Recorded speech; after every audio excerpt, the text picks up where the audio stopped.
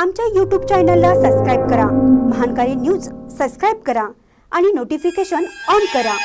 Notification on केल्यामुळे आमचे update आपल्यापर्यंत सतत पोहोचेल. झोपडपट्टीत राहणाऱ्या बहुरुपयाच्या मुलाने मिळवले उत्तुंग यश. दहावीच्या परीक्षेत अठ्ठ्याण्णव पूर्णांक आठ टक्के गुण. पुढील शिक्षणासाठी दानशूर व्यक्तींची गरज. आजच्या स्पर्धात्मक युगात शिक्षण घेताना उच्च श्रेणी यश मिळवणे कठीण बनले आहे. शैक्षणिक क्षेत्र हे श्रीमंतांच्या हाती असून पैसा असल्यास मात्र आपण चांगले शिक्षण मिळू शकतो असं नागरिक व पालकांचं मत आहे. पण याला अपवाद ठरलाय तो बोरगाव येथील झोपडपट्टीत राहणाऱ्या एका बहुरुपयाच्या मुलाने परिस्थितीवर मात करीत दहावी परीक्षेत अठ्ठ्याण्णव पूर्णांक आठ टक्के गुण मिळवून सर्वांसाठी आदर्श बनला आहे. राजू वीरभद्र बहुरूपी असं या मुलाचं नाव आहे. अठरा विश्व दारिद्र्य राहण्यासाठी झोपडी. झोपडीत वीज नाही. रात्री झोपण्यास पांघरून नाही. आई वडील गावगावी भिक्षा मागत यात्रा उरूस असणाऱ्या गावात पुस्तक पोस्टर विक्री करत आपला उदरनिर्वाह चालवतात. अशा परिस्थितीत शिक्षणाची जिद्द आणि शिकून मोठा अधिकारी होण्याची जिद्द मनाशी बाळगून राजूने यंदाच्या दहावीच्या परीक्षेत श्रीमंतांच्या पाल्यांना लाजवेल असे गुण मिळवले आहेत.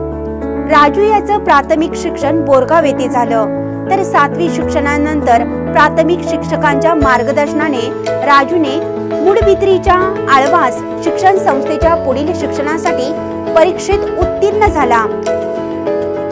आणि राजू याला आळवास शिक्षण संस्थेत दहावी पर्यंत मोफत शिक्षण घेण्यास मिळालं. मिळालेल्या संधीचं सोनं करीत राजू याने रात्रंदिवस प्रयत्न करीत यशाला गवसणी घातली आहे.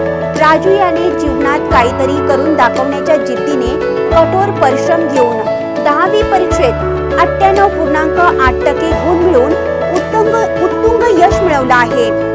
त्याने आपल्या आई महादेवी व वडील वीरभद्र यांचं नाव मोठं केलं आहे. राजू याला पुढे विज्ञान शाखेतून पदवी घेऊन I A S I P S बनायचं ध्येय आहे. दहावी परीक्षेच्या आळवास शिक्षण संस्थेनं फी माफ केली आहे मात्र राजू याला पुढील शिक्षणासाठी तीस हजार रुपयाची गरज आहे असं त्यानं सांगितलंय परिस्थितीवर मात करीत उच्च ध्येय बाळगून झोपडपट्टीत राहणाऱ्या राजू याची इच्छा पूर्ण करण्यासाठी शिक्षण प्रेमी दानशूर व्यक्ती संस्था यांनी राजू याला आर्थिक मदत करण्यासाठी पुढे येण्याची गरज आहे ಎಲ್ರಿಗೂ ನಮಸ್ಕಾರ ನನ್ನ ಹೆಸರು ರಾಜು ನಾನು ಎಸ್ ಎಲ್ ಸಿ ಪರೀಕ್ಷೆಯಲ್ಲಿ ತೊಂಬತ್ತೆಂಟು ಪಾಯಿಂಟ್ ಜೀರೋ ಏಟ್ ಶೇಕಡ ಪರ್ಸೆಂಟ್ ಅಷ್ಟು ನಾನು ಅಂಕಗಳನ್ನು ಗಳಿಸಿರ್ತೇನೆ. ಮುಖ್ಯವಾಗಿ ನಾನು ಎಸ್ ಎಲ್ ಸಿ ಓದಿದ್ದು ಯಾವ ರ್ಯಾಂಕ್ಗೋಸ್ಕರ ಅಲ್ಲ ಅಥವಾ ಯಾವುದೇ ಅಂಕಗಳಿಗಳಲ್ಲ ಅದರಲ್ಲಿರೋ ಒಂದು ಸಬ್ಜೆಕ್ಟ್ಸ್ ಅಥವಾ ಅದರಲ್ಲಿರೋ ನಾಲೆಜ್ ಅದರಲ್ಲಿರೋ ಮುಖ್ಯವಾಗಿ ವಿಷಯನ ನಾನು ತಿಳ್ಕೊಂಡು ಮುಂದಿನ ಕಾಂಪಿಟೇಟಿವ್ ಎಕ್ಸಾಮ್ಗೆ ಹೇಗೆ ಪ್ರಿಪೇರ್ ಆಗಬೇಕು ಅನ್ನೋದು ನಂದು ಮುಖ್ಯ ಗುರಿ ಇತ್ತು. ಈಗ ನಾನು ಮುಖ್ಯವಾಗಿ ನಮ್ಮ ಮನೆ ಪರಿಸ್ಥಿತಿ ಹೇಳಕ್ಕೆ ನಾನು ಹೊಂಟಿದ್ದೇನೆ. ನಾನು ಎಸ್ ಎಲ್ ಸಿ ನಾನು ಮೊದಲಿಂದ ನಾನು ಹೋಗ್ತಿರುವಾಗ ನಮ್ಮಪ್ಪ ನನ್ನ ಶಾಲೆ ಬಿಡಿಸಂತಿದ್ರು. ಹೇಗೆಂದ್ರೆ ಮನೆಯಲ್ಲಿ ಆರ್ಥಿಕ ನೋಡ್ ಮಗನೆ ನಮ್ಮ ಮನೆಯಲ್ಲಿ ಆರ್ಥಿಕ ಪರಿಸ್ಥಿತಿ ಸರಿಯಿಲ್ಲ. ನಾನು ನನಗೆ ಓದ್ಸಕ್ಕಾಗಲ್ಲ. ನನ್ನ ಹೋದ್ರೆ ಹೆಲ್ತ್ ಪ್ರಾಬ್ಲಮ್ ಇದೆ. ನಮ್ಮ ತಾಯಿ ಕೂಡ ಇದೇ ಹೇಳ್ತಾ ಇದ್ರು. ಆದ್ರೂ ಕೂಡ ನನಗೆ ಒಂದು ಕಲೆ ಒಂದು ಇಂಟ್ರೆಸ್ಟ್ ಆ ಒಂದು ಇಂಟ್ರೆಸ್ಟ್ ನನ್ನಲ್ಲಿತ್ತು. ಅವಾಗ ನಾನು ಏನ್ ಮಾಡಿದೆ? ಅಮ್ಮ ನಾನು ಬಿಡಲ್ಲ ನಾನು ಕಲ್ತು ಏನೋ ಸಾಧನೆ ಮಾಡ್ತೀನಿ ಅಂತೇಳಿ ನಾನು ದಿನ ಸಾಲಿಗೆ ಹೋಗ್ತಿದ್ದೆ. ನಮ್ಮ ನಮ್ಮ ತಂದೆ ಕೂಡ ಒಂದು ಯಾವ್ದೋ ಜಾತ್ರೆಯಲ್ಲಿ ಅಥವಾ ಹಳ್ಳಿ ಸಂತೆಯಲ್ಲಿ ಮಾರಿ ಒಂದು ದಿನಕ್ಕೂ ನೂರು, ಎರಡ್ ನೂರ ಮಾಡಿ ತರ್ತಿದ್ರು. ಅದರಿಂದ ನಮ್ಗೇನು ಅಥವಾ ನಮ್ಮ, ಇನ್ನ ನಮ್ಮ ಅಣ್ಣ ಕೂಡ ಒಬ್ಬ ಸ್ಕೂಲ್ ಹೋಗ್ತಿದ್ದ. ಅವನಿಗೂ ರೊಕ್ಕ ಕೊಡ್ಬೇಕು, ನಮ್ಗೆ ಕೊಡ್ಬೇಕು. ಸೊ ಇದೆಲ್ಲ ನಮ್ಗೆ ತುಂಬಾ, ನಮ್ಮ ಅಪ್ಪಗೆ ತುಂಬಾ ಕಷ್ಟ ಆಗ್ತಿತ್ತು. ಅವಾಗ ನಾವು ಕೂಡ ಸುಟಿ ಅಥವಾ ರಜೆ ಕೊಟ್ಟಾಗ ನಾವೇನ್ ಮಾಡ್ತಿದ್ವಿ ಅಂದ್ರೆ, ಹೋಟೆಲ್ ಕೆಲಸ ಮಾಡಿ, ಅಥವಾ ಗೌಂಡಿ ಕೆಲಸ ಮಾಡಿ ಹಣ ಗಳಿಸ್ಕೊಂಡು, ನಮ್ಮ ಸ್ಕೂಲ್ ಫೀಸ್ ಕಟ್ಕೊಂಡು ನಾವು ನಮ್ಮ ನಮ್ಮ ಎಜುಕೇಶನ್ ಅನ್ನ ಮುಂದುವರಿಸ್ತಾ ಇದ್ವಿ. ಒಂದು ಕಡೆ ನಮ್ಮ ನಮ್ಮ ತಂದೆ ಕಷ್ಟ, ಇನ್ನೊಂದು ಕಡೆ ನಮ್ಮ ಗುರಿ, ಇವೆಲ್ಲ ಇಟ್ಕೊಂಡು ನಾವು ಮುಂದೆ ಸಾಗ್ಬೇಕಂದ್ರೆ ತುಂಬಾ ಕಷ್ಟ ಕೂಡ ಆಗಿತ್ತು. ಒಂದೊಂದು ಕೂಡ ಅಳು ಬರ್ತಾ ಇತ್ತು ಕೂಡ, ರಾತ್ರಿ ನಿದ್ದೆ ಬರ್ಲಾತಿತ್ತು ಅಷ್ಟೊಂದು ಕಷ್ಟ ನಮ್ಮ ಮನೆಯಲ್ಲಿತ್ತು. ಇನ್ನೊಂದು ಏನಂದ್ರೆ, ಯಾವಾಗ ನಾ ಸೆವೆಂತ್ ಬಂದಾಗ, ನಾ ಕಾನ್ವೆಂಟ್ ಹೋದೆ. ಅಲ್ಲಿರುವಂತ ಸರ್ ಅಲ್ಲಿ ಮಾತೆ ಸರ್ ಮತ್ತೆ ಪಾಟೀಲ್ ಸರ್ ಅಲ್ಲಿರೋ ಸ್ಟಾಫ್ ಟೀಚರ್ಸ್ ನಮಗೆ ತುಂಬಾ ಹೆಲ್ಪ್ ಮಾಡಿದ್ರು.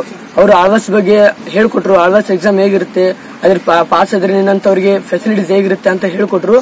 ಸೊ ಅವರ ಒಂದು ಅವರ ಒಂದು ಮಾಹಿತಿ ತೆಗೆದುಕೊಂಡು ನಾನು ಎಕ್ಸಾಮ್ ಬರೆದೆ. ಎಕ್ಸಾಮ್ ಬರೆದು ಪಾಸ್ ಆದೆ. ಒಂದು ಒಳ್ಳೆ ಒಳ್ಳೆ ರೀತಿಯಲ್ಲಿ ಪಾಸ್ ಆದೆ. ನನಗೆ ಅಲ್ಲಿ ಫ್ರೀ ಸೀಟ್ ಸಿಕ್ತು. ಒಂದು ಒಳ್ಳೆ ರೀತಿಯಲ್ಲಿ ಓದಿದೆ. ಅಲ್ಲಿ ಟೀಚರ್ಸ್ ಕೂಡ ತುಂಬಾ ಹೆಲ್ಪ್ ಮಾಡಿದ್ರು. ತುಂಬಾ ಒಳ್ಳೆ ಟೀಚ್ ಮಾಡ್ತಾ ಇದ್ರು. ಒಳ್ಳೆ ಸ್ಕೂಲ್ ಆಕ್ಚುಲಿ ಅಲ್ಲಿ ಅಲ್ಲಿ ಪ್ರತಿಯೊಂದು ಹಾಸ್ಟೆಲ್ ಕೂಡ ಅಲ್ಲಿ ಓದೋ ವಿದ್ಯಾರ್ಥಿ, ನಮ್ಮಂತ ವಿದ್ಯಾರ್ಥಿಗಳಿಗೆ ಡಾಕ್ಟರ್ ಎಂ ಮೋಹನ್ ಆಳ್ವೇರ್ ಅವರು, ನಮ್ಮ ಚೇರ್ಮನ್ ಅವರು ಅವರು ತುಂಬಾ ಒಂದು ಒಳ್ಳೆ ಫೆಸಿಲಿಟೀಸ್ ಕೊಟ್ಟಿದ್ದಾರೆ. ಕನ್ನಡ ಮಾಧ್ಯಮ ಹುಡುಗರಿಗೆ ಅಲ್ಲಿ ಓದ್ಲಿಕ್ಕೆ ಅಲ್ಲಿ ಫ್ರೀ ಸೀಟ್ ಕೊಡ್ತಾರೆ. ಯಾವುದೇ ಒಂದು ಶುಲ್ಕ ಕೂಡ ತಗುವುದಿಲ್ಲ ನಮ್ಮಂತ ವಿದ್ಯಾರ್ಥಿ ಬಡ ಕುಟುಂಬ ಬಂದಿರುವಂತ ವಿದ್ಯಾರ್ಥಿಗಳಿಗೆ ತುಂಬಾ ಫೆಸಿಲಿಟೀಸ್ ಕೊಟ್ಟು ಓದಿಸ್ತಾರೆ. ನನಗೆ ಹತ್ತನೇ ಮಾಡೋ ತುಂಬಾ ಫ್ರೀಯಲ್ಲಿ ಓದಿಸಿದ್ರು. ಅವಾಗ ನಮ್ಗೆ ಕಷ್ಟ ಆಗ್ಲಿಲ್ಲ. ಆದ್ರೂ ಕೂಡ ಅಲ್ಲಿ ಹೋಗ್ಬೇಕಾದ್ರೆ ತುಂಬಾ ದೂರ ಅಲ್ವಾ? ಆಳ್ವಾಸ್ ಮಂಗಳೂರು ಅಂತ ದೂರದಲ್ಲಿ ನನ್ನ ಕಡೆ ರೊಕ್ಕ ಇರ್ತಿರ್ಲಿಲ್ಲ. ಅವಾಗ ಯಾರ ಹತ್ರ ಹೋಗೋದು, ಏನು ಮಾಡೋದು ಅಂತ ತುಂಬಾ ತಿಳಿತಾ ಇರ್ಲಿಲ್ಲ. ಅವಾಗ ಕ್ರಾಶ್ ಕೋರ್ಸ್ ಬಂದಾಗ ಈ ಕಡೆ ಓದ್ಬೇಕು, ಈ ಕಡೆ ಕೆಲಸ ಮಾಡ್ಬೇಕು. ನನಗೆ ಏನು ತಿಳಿತಾ ಇಲ್ಲ. ಈ ಕಡೆ ಎಲ್ಲಾ ಒತ್ತಡದಲ್ಲಿ ಹಾಕೊಂಡು ಈ ಕಡೆ ಕೆಲಸ ಮಾಡ್ತಾ ನಮ್ಮ ಅಪ್ಪ ಕಡೆ ದುಡ್ಡು ಹೋಗ್ತಾ ಒಂದು ಕಷ್ಟದ ಜೀವನ ನಡೆಸ್ಕೊಂಡು ಟೆಂತ್ಗೆ ಬಂದೆ. ಟೆಂತ್ನಲ್ಲಿ ಕಷ್ಟಪಟ್ಟು ಓದಿದೆ. ಅದಕ್ಕಾಗಿ ನನಗೆ ತೊಂಬತ್ತೆಂಟು ಪಾಯಿಂಟ್ ಜೀರೋ ಏಟ್ ಶೇಕಡ ಅಂಕಗಳು ಸಿಕ್ತು. ನನ್ನ ಮುಂದಿನ ಮುಖ್ಯ ಗುರಿ ಅಂದ್ರೆ ಒಂದು ನಾನು ಮುಂದೆ ಸೈನ್ಸ್ ತಗೋಬೇಕಂತ ಮಾಡಿದ್ದೀನಿ. ಸೈನ್ಸ್ ಹೇಗೆ ತಗೋತೀನಂದ್ರೆ ಅಲ್ಲಿರೋ ಮ್ಯಾಥಮೆಟಿಕ್ಸ್ ಮತ್ತು ಮೆಂಟಲ್ ಅಬಿಲಿಟಿ ಅಲ್ಲಿರುವಂತ ಅದು ಕಾಂಪಿಟೇಟಿವ್ ಎಕ್ಸಾಮ್ ಯಾವ ರೀತಿ, ಅಲ್ಲಿ ಅಲ್ಲಿರುವಂಥ ವಿಷಯನ ಕೇಳ್ತಾರೆ ಅಲ್ಲಿ. ಯಾಕಂದ್ರೆ ಮ್ಯಾಥಮೆಟಿಕ್ಸ್ ತುಂಬಾ ಐ ಎಸ್ ಅಂತ ಯು ಪಿ ಎಸ್ ಕ್ವಶನ್ ಅಲ್ಲಿ ಮ್ಯಾಥಮೆಟಿಕ್ಸ್ ಮೆಂಟಲ್ ಅಬಿಲಿಟಿ ತುಂಬಾ ಟಫ್ ಕ್ವಶನ್ ಕೇಳ್ತಾರೆ. ಸೊ ಆ ಅವು ಆ ಹೇಗೆ ಫೇಸ್ ಮಾಡಬೇಕು ಅಂತೇಳಿ ನಾನು ಸೈನ್ಸ್ ತಗೋದು. ಮುಖ್ಯ ಗುರಿ ನಾನು ಸೈನ್ಸ್ ತಗೊಂಡ್ರೆ ಅದು ಮುಖ್ಯ ಗುರಿ. ಸೊ ಈಗ ನನಗೆ ಇಲ್ಲಿ ನಾನು ಅಷ್ಟೇ ಅಲ್ಲ, ಇಲ್ಲಿ ತುಂಬಾ ಮಂದಿ ನಮ್ಮ, ಇಲ್ಲಿ ನಾವು ಬೋರ್ಗಾವ್ನಲ್ಲಿ ವಾಸಿಸ್ತೇವೆ. ನಾವೊಂದು, ನಾವು ಊರವರೆಗಿದ್ದೇವೆ ಒಂದು ಮಡ್ಡಿಯಲ್ಲಿದ್ದೇವೆ ಅಲ್ಲಿ ನನ್ನಂತ ಹುಡುಗರು ತುಂಬಾ ಇದ್ದಾರೆ. ನನ್ನ, ಅವ್ರಿಗೆ ಇಂಥ ಫೆಸಿಲಿಟೀಸ್ ಗೌರ್ಮೆಂಟ್ ಯಾವುದೇ ರೀತಿ ಫೆಸಿಲಿಟೀಸ್ ಕೊಡ್ತಾ ಇಲ್ಲ. ನಮ್ಮ ಮನೆಯಲ್ಲಿ ಆಕ್ಚುಲಿ ಕರೆಂಟ್ ಕೂಡ ಇಲ್ಲ. ಯಾವುದೇ ಮೊದಲು ಈಗ, ಮೊದಲು ಯಾವುದೇ ಕರೆಂಟ್ ಇಲ್ಲ. ಈಗ, ಈಗೇನು ಬೆಳಕು ಟಾರ್ಚ್ ಎಲ್ಲ ಈಗ ನಮ್ಮಪ್ಪ ತಂದಿದ್ದಾರೆ. ಮೊದಲು ನಾ ಸೆವೆಂತ್ ಏಟ್ ನೈನ್ತ್ ಓದುವಾಗ ನಮ್ಮ ಮನೆಯಲ್ಲಿ ಇರಲಿಲ್ಲ ಕಂದ್ಲಿಟ್ಕೊಂಡು ರಾತ್ರಿಯಲ್ಲಿ ಕಣ್ಣು ಸುರಿಸ್ತಾ ಅಭ್ಯಾಸ ಮಾಡ್ತಾ ಇದ್ದೆ. ಅಷ್ಟೊಂದು ಪರಿಸ್ಥಿತಿ ನಮ್ಮ ಮನೆಯಲ್ಲಿತ್ತು. ಅವಾಗ ಮತ್ತೆ ಟೆಂತ್ ಅಲ್ಲಿ ನಮ್ಮಪ್ಪ ಅಲ್ಲಿ ದುಡಿದು ಒಂದು ಬ್ಯಾಟ್ರಿ ತಂದ್ರು. ಅದು ಚಾರ್ಜ್ ಆದ ಕೂಡಲೇ ಮತ್ತೆ ಮುಗಿತ್ತು ನನ್ನ ಸ್ಟಡಿ ಎಲ್ಲ ರಾತ್ರಿಯಲ್ಲಿ. ಇಷ್ಟೊಂದು ಪರಿಸ್ಥಿತಿಯಲ್ಲಿ ನಾ ಓದ್ದೆ. ಇಲ್ಲಿ ನನ್ನಂತ ಸುಮಾರು ಮಕ್ಕಳು ಇಲ್ಲಿ ಸಾಲಿಗೆ ಹೋಗ್ತಾ ಇದ್ದಾರೆ. ಅವ್ರಿಗೂ ಇಂತ ಗೌರ್ಮೆಂಟ್ ಮುಖ್ಯವಾಗಿ ಗೌರ್ಮೆಂಟ್ ಅವರಿಗೆ ಫೆಸಿಲಿಟೀಸ್ ಗೌರ್ಮೆಂಟ್ ಹೇಳುತ್ತೆ ನಾವು ಬಡ ಕುಟುಂಬ ಹಿಂಗೆ ಮಾಡ್ತೇವೆ, ಹೀಗೆ ಮಾಡ್ತೇವೆ ಅಂತ ಹೇಳುತ್ತೆ. ಆದ್ರೆ ನಿಜವಾಗಿ ನೋಡಿದ್ರೆ ಇಲ್ಲಿ ಇಲ್ಲಿ ನಮ್ಮ ಮಕ್ಕಳು ನೋಡಿದ್ರೆ ಗೊತ್ತಾಗುತ್ತೆ. ಅಂದ್ ನನ್ನಂತ ಹುಡುಗರು ತುಂಬಾ ಅವ್ರ ಅವ್ರಿಗೂ ಕಡೆ ಇದೇ ರೀತಿ ಪ್ರೋತ್ಸಾಹ ಕೊಡಿದ್ರೆ ನನಗಿಂತ ಜಾಸ್ತಿ ಮಾಡಿ six twenty five hundred of hundred ಮಾಡುವಂತ ಹುಡುಗರು ಕೂಡ ಇಲ್ಲಾಗಿದ್ದಾರೆ ಸೊ ಗೌರ್ಮೆಂಟ್ ನನಗೆ ಎಷ್ಟು ಇಷ್ಟಪಡ ನಾನು ಗೌರ್ಮೆಂಟ್ ಮುಂದೆ ನನ್ನ ಬೇಡಿಕೆ ಎಷ್ಟು ಇಡೋದು, ದಯವಿಟ್ಟು ನನ್ನ ನನ್ನಂತ ಬಡ ಕುಟುಂಬಗಳಿಗೆ ಸಹಾಯ ಮಾಡಿ, ಧನ ಸಹಾಯ ಮಾಡಿ ಅಥವಾ ಯಾವುದೋ ಸಹಾಯ ಮಾಡಿ ಒಟ್ಟು ನಮ್ಮ ನಮ್ಮಂತ ಬಡ ಕುಟುಂಬಗಳನ್ನ ಮೇಲೆ ಮೇಲೆ ತರಬೇಕಂತ ನನ್ನ ಮುಖ್ಯ ಗುರಿ महान करे न्यूजसाठी बोरगावहून शिवाजी भोरे